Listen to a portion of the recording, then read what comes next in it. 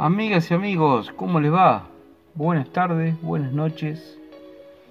Les voy a decir hoy cómo, cómo sacar una alarma opcional de esas tipos que ponen X28 en un auto relativamente viejo, ¿no? A veces se anula la alarma, bueno, y el control en la llave, nada. Digamos, no tiene absolutamente nada. Pero, ¿qué es lo que hace? Se escucha una interrupción de un relay que en algún momento, eh, bueno, cuando lo hace se corta el encendido del motor. Entonces me pongo a fijar y, bueno, efectivamente hay una alarma escondida ahí atrás de vaya a saber cuánto tiempo anulada. Y bueno, sigue puenteado el módulo y por eso arranca, pero bueno, debe tener algún fallo que... Eh, yo no me encargo del tema de alarmas, no, no, no las coloco ni... No, no me dedico a eso.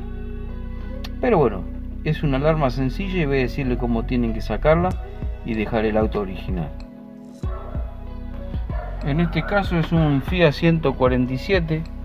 Bueno, lo que vamos a hacer es sacar el, volante para así poder sacar la llave esta y poder ver acá atrás el contactor. Yo saqué esta tapa de acá que tenía, ¿no? la tapita que tenía aquí se ve que tiene un... Sospeché de la alarma, bueno, porque le vi acá el LED ese chiquitito y cuando saco, bueno, acá me encuentro con el módulo que es el que hacía el corte del, encendido, ¿no? Acá tiene un fusible, pero lo vi que está bien. Así que ahora vamos a sacar todo eso como para que el auto quede original. Eh, bueno, como les decía, voy a sacar esto para poder ver esta parte de acá.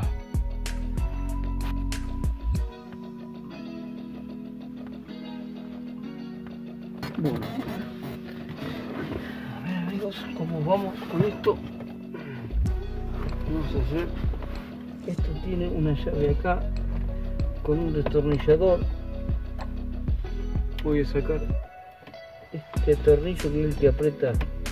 Esto este mismo sistema corresponde a todos los coches no lo que pasa es que yo en el 147 tengo que sacar esto para poder liberar donde está la llave y poder ver bueno amigos, aquí como vemos, a ver dónde está el cable del contactor. Vamos a verificar cuáles son los cables del contactor, los de la llave, digamos. Bastantes cables tiene, ¿eh? Estos son todos los que vienen acá a la llave de giro.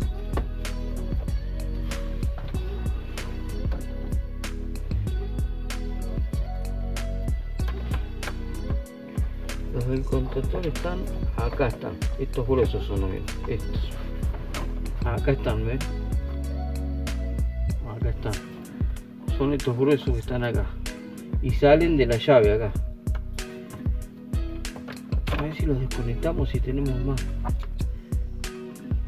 Bueno acá se ve que hay uno que está cortado ven ven que acá hay uno que está cortado que es uno azul que viene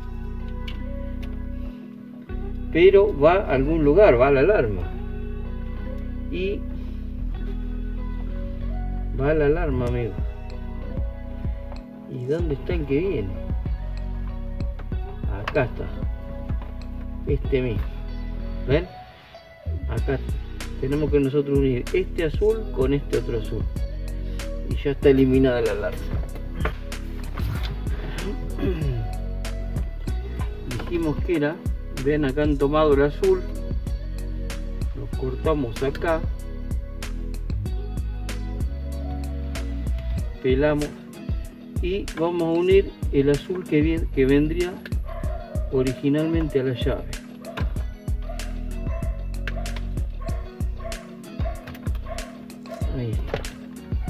Ya uniendo esto ya está eliminada la alarma amigos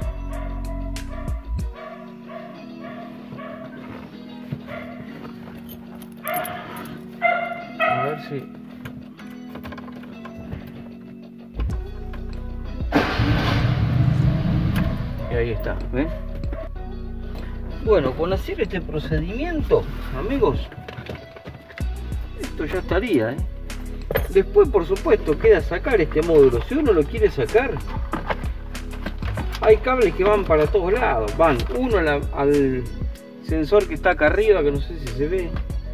Otros van a, las luces de giro, porque esto cuando la alarma nos da un aviso, bueno, está conectada con las dos luces de giro.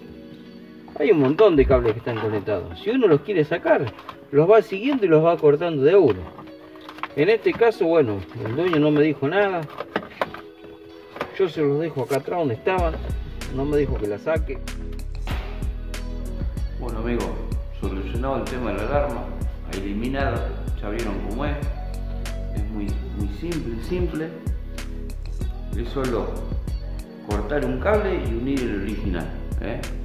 Anímense o lo pueden llevar a una casa así de, cierre centralizado, alarma que no es una cosa tan complicada.